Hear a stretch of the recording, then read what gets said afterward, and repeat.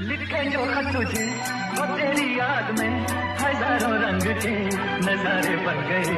सवेरा जब हुआ तो फूल बन गए जो रात आई तो सितारे बन गए। लिखे जो खत तुझे सॉरी